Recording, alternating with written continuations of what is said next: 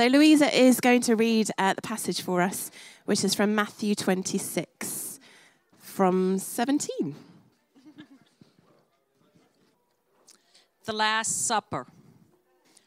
On the first day of the festival of unleavened bread, the disciples came to Jesus and asked, Where do you want us to make preparations for you to eat the Passover?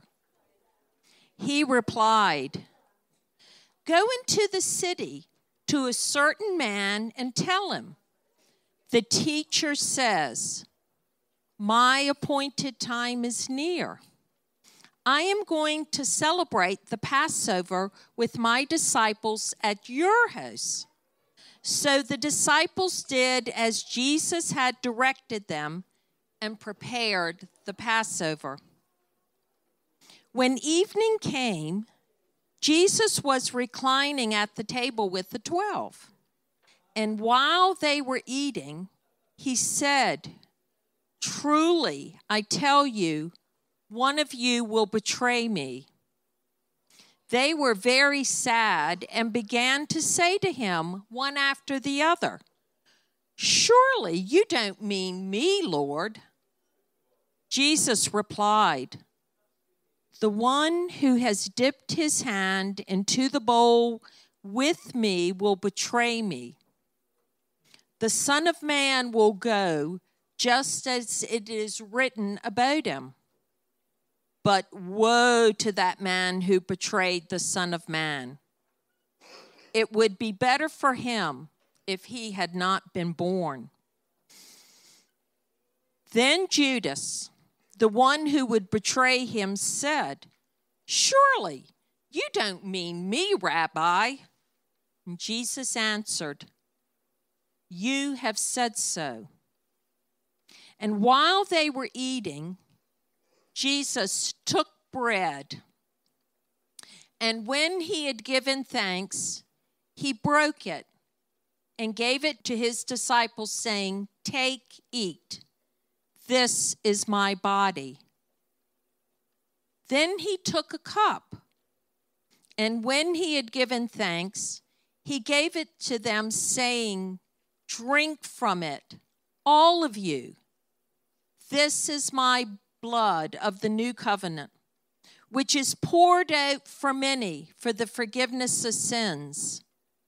I tell you, I will not drink from this fruit of the vine from now until the day when I drink it new with you in my Father's kingdom. And when they had sung a hymn, they went out to the Mount of Olives. Thank you, Louisa. Um, I'm going to invite Matt to come up um, to, to give us the talk, and I would love to pray for him before he does that.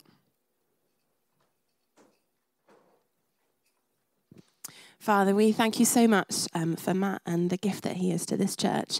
We pray, Lord Jesus, that you would keep him calm as he does this talk and that you would give him all the gifts he needs to do this well. We pray for us that we would have, um, we would just be really open to hear your word through him and that you would work powerfully through Matt this morning. In Jesus' name, amen. Amen. Thanks, Sophie. So, uh, we are on week two of our uh, newish series looking at the essentials of Christian community. What are the things that, in a sense, make us distinct from other types of community around the world? Uh, last week, Mark looked at baptism with us. Next week, uh, heads up, we've got Tim Dobson from Woodlands Church coming to speak to us about praying for the sick. Uh, we've got other weeks after that looking at different activities, but today we are looking at the activity of communion.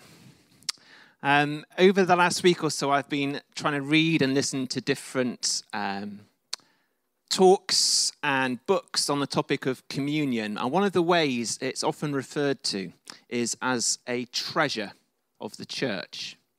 And I guess for me, as I've been reading and preparing for this, I've felt a little bit like um, it might not be a treasure for me, but maybe it's more like a lost treasure. Maybe it's more like something that could be this jewel for us, this treasure from God if we would allow it to be. And I guess for me, I've felt convicted, particularly on a Sunday when there's often a lot to fit in. We have to fit in worship and notices and all kinds of different parts of church life. And when we do communion on the first Sunday of the month, it can feel like this, um, this kind of squidged in, squeezed in addition that if you're anything like me, we just kind of try and run through as quickly as possible so we can fit in everything else. And when we do that, perhaps we are missing one of the most remarkable things God has given us. I'm aware there's lots of controversial questions surrounding communion. Uh, questions like who can take communion, who can administer communion, what specifically happens to the bread and the wine when we take it, what type of bread or wine or grape juice we should use. And I'm not going to try and answer any of those questions really, um, apart from to think about the value of communion. What is the value of this treasure God has gifted his church. The reading from Matthew of Jesus sharing a meal with his disciples is probably one of the most famous stories in the New Testament. It's repeated almost word for word in the, uh, the Synoptic Gospels in Matthew, Mark, and Luke.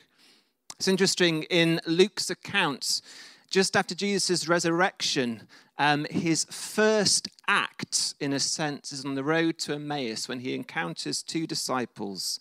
And it says he broke bread with them. An allusion many people think is to communion, to breaking bread, sharing a cup with his disciples. And when he did this, it says their eyes were opened, they recognized him, and then he disappeared from their sight. Similarly, in the book of Acts, the very first description of the early church, of what it means to be God's community, is centered around teaching, fellowship, prayer, and the breaking of bread. Paul gives extensive instructions to his letter to the church in Corinth, which we'll look at this morning, on the subject of communion. And indeed, our earliest post New Testament text, the Didache, written sometime in the first or second century, contains a whole chapter surrounding the prayers that might be said around communion. And I guess potentially for some of us, probably for me, maybe for some of us, uh, the very centrality of communion in church life the very commonality of it. The fact that if you've been part of church for a while, it's something maybe you do once a week or you do once a month if you're part of our church, can almost lead to it being something that just blends into the background. Like about a year ago, me and Sophie, uh, we bought ourselves a new sofa from Whatnot, so a new second-hand sofa. And previously, we just used a, a rather rubbish kind of uh, sofa bed for watching TV on. So we were really excited to get this new sofa. And we got it delivered. It was this really kind of quite, you know, quite exciting thing, new sofa. And, and yet now, when I go home, I never think of it. I never walk into my front room and think, oh, wow, we've got this new sofa. And I wonder if there is a sense in which communion can be like that. It's this thing that can just blend into the background, something we become used to. John Wesley, a man who helped lead one of the greatest revivals of the 18th century, the founder of the Methodist movement. In his teaching on communion, he says, It is the duty of every Christian to receive the Lord's Supper as often as he can. Let one, therefore, who has any desire to please God or any love for his own soul, obey God and consult the good of his own soul by taking communion every time he can. He instructed his own followers in the Methodist movement to take communion at least four times a week. And he said of himself that he chooses to take it every day. Which I guess leads to the question of why. Why is there such value placed by Wesley, I think placed by the New Testament, on the breaking of bread and the sharing of a cup? Well, I'd like to look at three treasures that I think communion offers us, particularly through the accounts we just had read. First of all, communion connects us to God's story. To live, I think, in the modern world is to be surrounded by stories. Uh, when I was at university uh, 17 years ago, extraordinarily, I did English literature. And one of the topics we look at as you look at different ages in history, like the medieval age or the Stone Age or the age of the Enlightenment, is what, we call, what are called grand narratives that characterize that age and people, in a sense, found their sense of meaning in. The American dream. The idea that if you're born in America, then anyone of any background, of any ethnicity, of any experience, through hard work and determination, can achieve whatever their dream is. It's a narrative, it's a story through which many people, in a sense, found, or in some cases, many cases, didn't find, their sense of meaning and belonging. We might also think in a different uh, sense of the Soviet Union and the narrative of communism, of Marxism. A belief where, through common ownership, through a classless society where everyone is equal, that if we all choose to join in this story, so society itself will progress. And the reason I say this is that uh, for many uh, writers and theologians and historians, when they describe the times we're living in today, they will speak of the death of the grand narrative. In terms of whereas previously you might be able to see these big, single, overarching stories or ideas that characterized an age, in terms of our own time and experience today, we are living instead with a multitude of competing stories. You might think of the story that different companies are trying to sell us when they say if you buy their car, or if you use their bank services, or if you buy their clothes, or if you wear this certain type of jewelry, or buy this type of watch, the kind of life that you could be able to live. I think it's a story people are being invited to share in might think of politicians when they try and uh, give a picture of Britain through their leadership as a place of equality or prosperity or opportunity, what I think they're doing is they're trying to present a story in which we ourselves can find our own place through, in a set, well, through voting for them. And indeed, through social media, we have many idealized stories of various wealthy and famous uh, individuals living a life many people could uh, only barely dream of. And yet there is that hope that maybe we could join and live a story like theirs. And yet the reality is, all of these stories, when they compete for our attention, for our time, for our money, it can leave us feeling either overwhelmed or if we do enter into them, feeling unfulfilled. The actor and comedian Jim Carrey you might have heard this quote before. He says, I think everyone should get rich and famous and do everything they've ever dreamed of so they can see that it's not the answer. And when Jesus presents communion to his disciples, it's important to note that part of what he is doing them is he's offering them a way to connect to God's story, to God's narrative not a story crafted by human hands or by companies or political groups, but by God Himself. And we see this through one word that is repeated three times in three verses in Matthew's account. It occurs four times in the accounts in Luke and Mark, and it is the word Passover. Passover, you may know, is uh, for the Jews at the time an annual eight day festival centered around remembering and recalling the events of Exodus. Exodus, I know, is one of those stories we talk about a lot, and it really is one of those moments in the Old Testament that echoes forwards.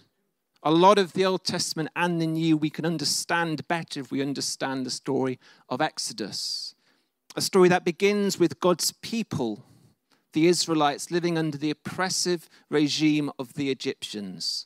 God commissions Moses to go and see them set free Through Moses, he performs signs and wonders in front of Pharaoh and the Egyptian people. It culminates in Exodus 12, where in the final sign, God instructs the Israelites to take the blood of an unblemished lamb, to wipe it across their doorframe as a means to avoid the coming judgment against the Egyptians. And then that night, in a terrible sign, God inflicts this great judgment on the Egyptians, those who are oppressing his people. And yet, those who have the blood of this lamb over their doors, it is in a sense as if God's judgment passes over them. And I'm aware there's a lot of probably big questions a story like that raises, but at its heart, the story of Exodus is one of liberation. What is it that God wants for his people? It is that we might be set free, that God may liberate from those things, those systems, those feelings that leave us feeling oppressed. And crucially, for the first century, first century Israelites, for the people around Jesus that he lived in the midst of. This wasn't a story they simply remembered, but it was one they tried to reenact. And so during the festival of Passover, there would be rituals in terms of their meals, the types of food they eat, the drinks they drank. There'd be rituals in terms of recounting particular parts of the story. There'd be moments where the father in the family would um, either ask or be asked questions, and people would have liturgical responses to them as they tried to relive this great story of God seeing his people set free. I know I might make this point a little too often, perhaps, but it's worth remembering that for the Israelites, to, be, to, to speak of God as one who set them free wasn't just a spiritual idea because they had their own oppressors, the Romans. And so you can imagine for them this powerful story of recalling and hoping that God would do what he did before for them. And so when Jesus, during Passover, shares a meal with his disciples, he takes a cup likely filled with red wine. And he says, This is my blood poured out for many for the forgiveness of sins. This image, I think, and many agree, directly taken from the story of Passover. What he's saying is that story of freedom and liberation, that is my story. And what is about to happen on the cross should be understood in those terms. And so when we take communion, it isn't simply an act of taking some bread and some wine and saying some nice words, but it is remembering and placing ourselves back in God's story, of thinking of what are some of the other stories that might have taken our attention off Him what are the, some of the places or people or groups that we're thinking will give us the things only He can give? And communion is the place where we can return to God. So, first of all, communion connects us to God's story. Secondly, communion connects us to God Himself. One of the words most commonly used to describe communion is a sacrament. It's not a word we use particularly often, um, but generally speaking, the sacrament is a word used to describe certain activities in a religious setting that people believe God will use uh, to meet them, to strengthen them, and to give them his grace. Uh, Simon Ponsonby, a well known new wine speaker, a preacher over in Oxford, he referred to sacraments as sacred moments. They are gifts that God has given his church by which they can meet him. St. Augustine referred to sacraments as sacred signs which bridge the gap between God and humanity. And depending on uh, what denomination you look at, depending on what point in history you look at, you'll see all kinds of different things making the list of uh, what is or isn't a sacrament.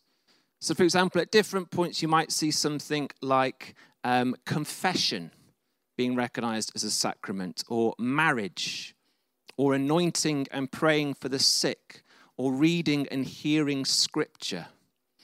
But what's interesting is that across all the lists, or at least the ones that I could find, of any account of what counts as a sacrament, two are constant baptism and communion. And this is, unfortunately, one of the great controversies, if you ever want to waste a few hours on Wikipedia, um, within the church, is what does that mean? What does it mean that for many people, through the act of communion, God wants to meet us? You'll generally find, in terms of communion, um, there's probably two lines of thought. The first is a we, we view it as a supernatural event. If you're using theological terms, I'm going to mispronounce this, but transubstantiation. It means that the bread and the wine, when we take them in an act of communion, in some mysterious way, they literally change into Jesus' body and blood. The second view is an act of remembrance where through the act of communion, bread and the wine, they become, in a sense, symbols and signs for us to remind ourselves of what God did on the cross. Over this past week, I've asked um, a few members of our church uh, the question of why do you think we take communion? And um, I haven't asked that many people, but the people I asked all effectively gave different versions of the second answer. Why do we take communion? Well, we, we do so to remind ourselves of the cross. And indeed, I think this is true.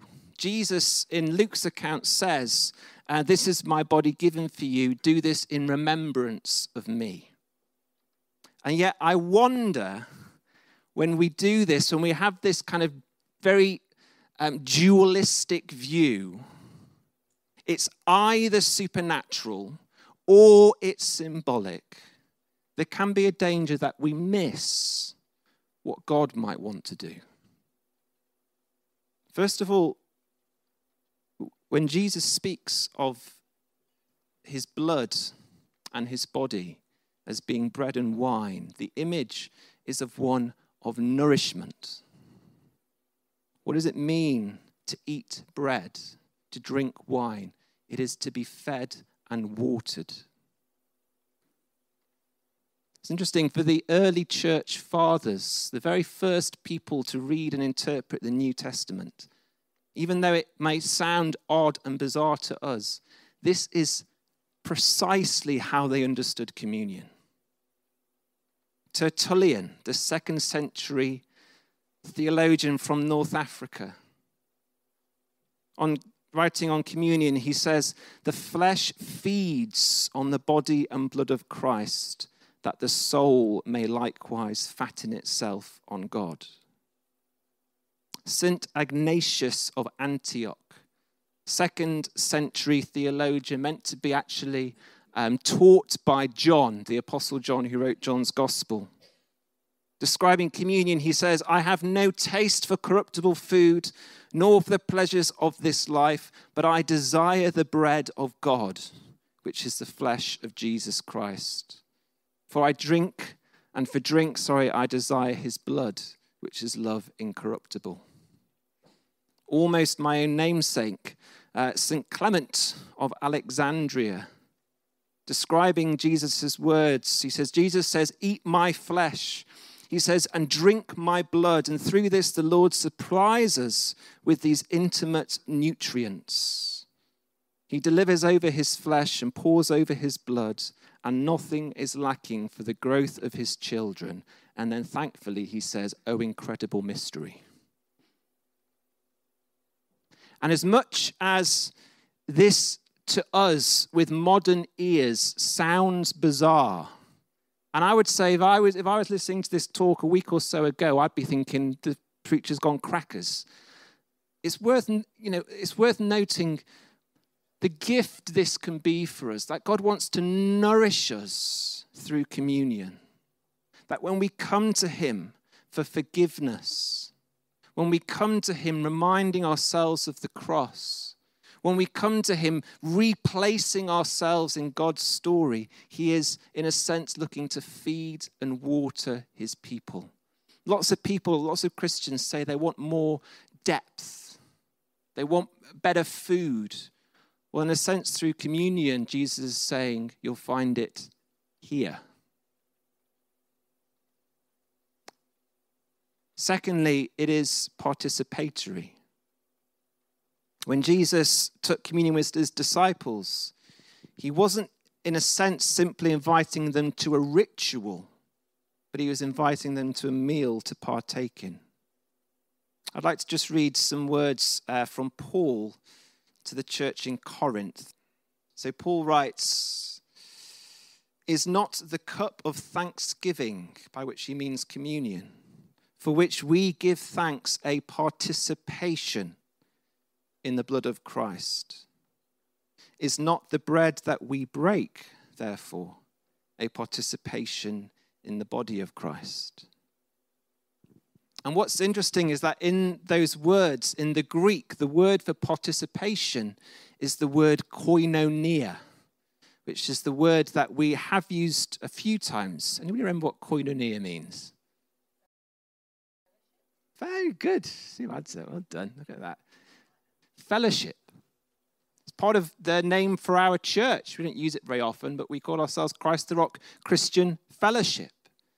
It's a word that describes community, deep relationship, a way of feeling loved and valued and belonging with those that you're in that fellowship with. And we, we need to recognize, I think, the extraordinary language Paul is using here when he's saying, Is not the cup of thanksgiving this stuff? Is this not the way for which we give thanks a participation a fellowshipping, a communing with the blood of Christ.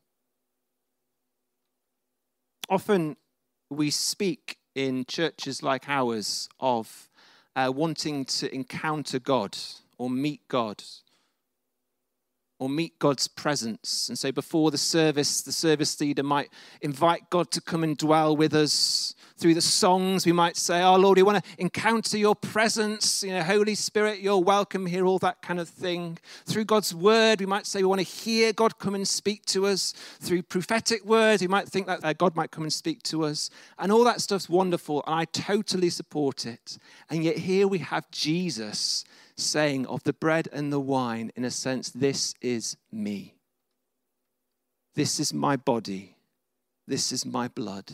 Come and find nourishment. Come and find fellowship. Come and find me. I have no idea, to be frank, how that works. I have no idea how we, we kind of hold that together in terms of this dual view of whether it's supernatural, whether it's, I, I don't know. And yet I think there is something we can find. So it connects us to God's story, to God Himself, and then finally, just for a couple of minutes, it connects us to one another. Perhaps the simplest point, but for Jesus, communion was communal.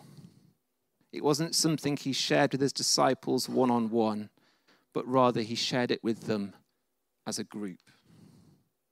Speaking of communion, he said, uh, Of this blood, of this cup, he says, Drink it, all of you. He said, This is my blood poured out for many. Paul, in writing about communion, says, It's not the bread we break, a participation in the blood of Christ. And then he writes, Because there is one bread, and so we who are many, we who are many, we are one body. Why? Because we share in one bread. And I think, in a sense, what that means is when we take communion together, we aren't just coming by ourselves to say, Lord, I want to meet you. I need your forgiveness. I need your provision. I want to encounter your presence. But we're recognizing that is something that we need. That we as a community, if we are going to be marked by God, it's going to be Him who does it. And one of the gifts He's given us, I think, is through taking communion. One last quote Martin Luther, the great Protestant reformer, he says, To receive this sacrament in bread and wine is nothing else than to receive a sure sign of his fellowship and incorporation with Christ and all the saints. It is as if citizens were given a sign, a document, or some other token to assure them that they are indeed citizens of the city and members of that particular community. And it's worth noting as well, although we haven't talked about it, that during the account we read, Jesus also speaks of his betrayal.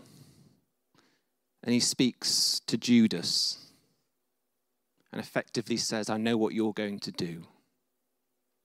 And as far as I understand it, the text reads that he still shared communion with him. I um, was I used to be a youth worker. I'm going to finish with this um, for a, an Anglican church a long time ago, and one of the things that happened that made me feel very old was a few years after that, two of the youth got married. And I think because I was probably one of the only people who they kind of both knew within a church background, um, they invited me to come and speak at their wedding. And at the end, well, partway through, I remember um, the vicar, when he was uh, marrying them, he, he used that famous line uh, Jesus uses in terms of marriage of what God has brought together, let no man pull apart. And I remember as, as he said that, just having a real uh, sense of, you know, through something like uh, marriage or through other sacramental activities, God is joining himself to them, but also joining them to one another. And I just wonder whether, in some way, that is what communion can be for us a means by which God draws us to Himself. He joins us to Himself. He binds Himself to us, but He also binds us to one another. So, what am I saying? What I'm not saying, we're going to suddenly start taking communion every week, and I'll be rocking up at your front door with a, you know, a chalice and a, a bit of hovis. Uh, but, but I, I am saying, I wonder what our expectations are. What are our expectations when we take communion? Is it something that we just sit through? Maybe we pray a quick prayer, or is it something that we expect God can meet us through and nourish us through and fellowship with us through? So, in a moment, I'm going to pray, and then we're going to take communion. And what's going to happen is uh, I've asked Nick to play a song over us, and there'll be a period of about four or five minutes where you'll be able to come, take for yourself a glass of grape juice, a piece of bread, um, but also pray. Perhaps reflect on some of the things, the words we've read. Maybe ask God to help you with this, to make this more than just a practice and then we'll take it together. So I'm going to pray. Father, we thank you that you haven't left us alone, but you've given us your Son, you've given us your Spirit, you've given us one another, Lord. And as we share in this time now of taking communion, of breaking bread, of drinking from this cup. We ask, Lord, that you would use this in ways that maybe we cannot even fathom to understand, to nourish us, to help us see ourselves as part of your story, to meet us, but also, Lord, to draw us closer in unity with one another. Amen. So the song will last for a few minutes. There's no rush. Come, take bread, take a cup, take it back to your seats, and then in a few minutes we'll share communion together.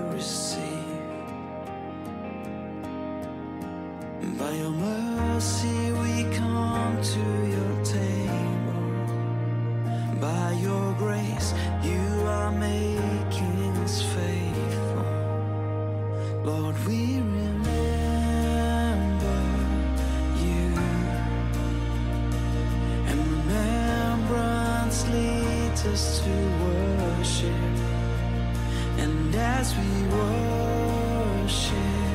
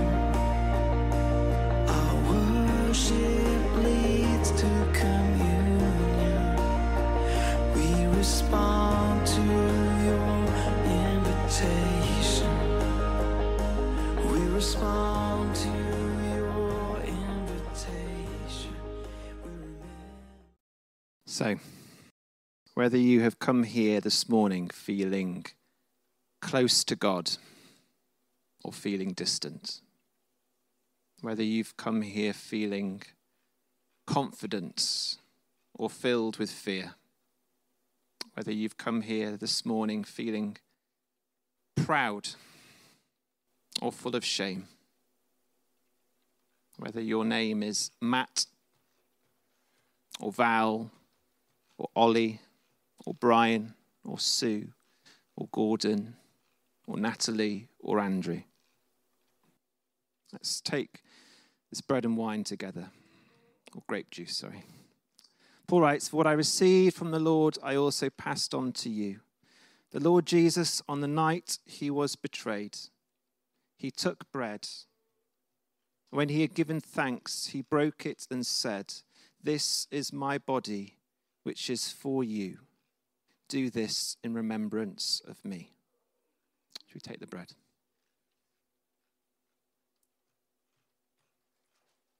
In the same way, after supper, he took the cup, saying, This cup is the new covenant in my blood. Do this whenever you drink it in remembrance of me. Should we drink from the cup?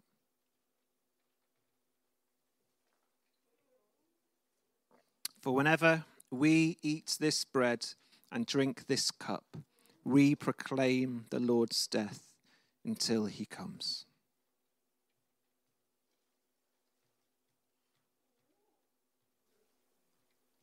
Amen.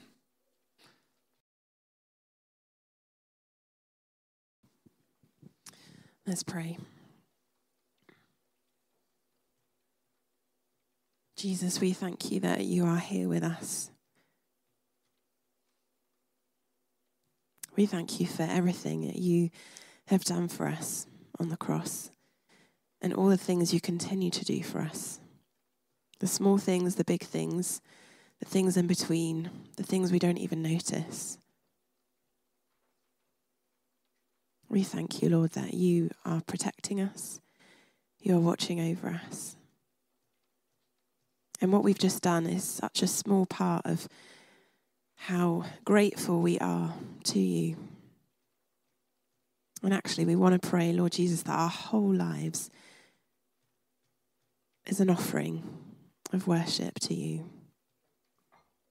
Help us know how to do that, Lord Jesus, on a Monday morning, on a Wednesday afternoon. Show us, teach us how to put you first, how to worship you,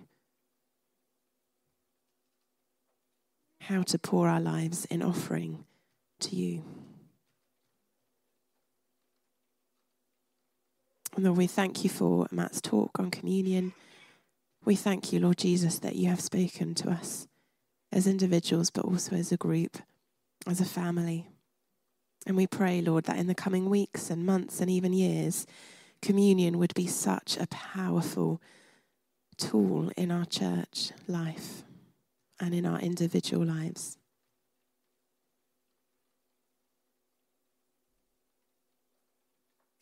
Lord, may we never forget the wonder of communion.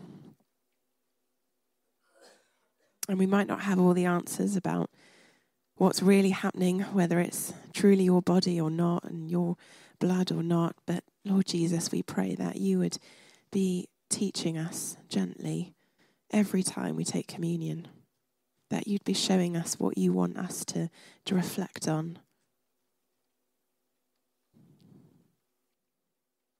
So, God, we just want to thank you for this morning, and we ask now that as we um, walk away from this place, that you would remain with us, that we would sense you close, and whatever we have planned for this week, that we would know that you are a refuge, that you are our fortress, and we can find rest in you. Amen.